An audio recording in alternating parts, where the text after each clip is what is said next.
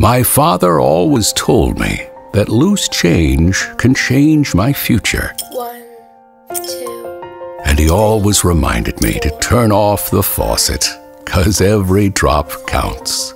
eight, Years later, there was that avenue of trees in which one tree was bigger than all the others. 13. That was the moment I realized what my father meant when he said that little things can make a big change. 50 years later, millions of farmers around the world are embracing drip irrigation technology to grow more crops with less resources, drop by drop, field by field, country by country. The world of agriculture is evolving, directly impacting global water and land scarcity and ensuring food security for the world. And this is just the beginning, the beginning of the revolution for a more sustainable future.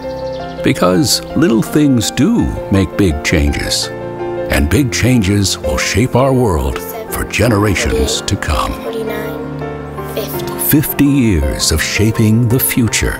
Netafim,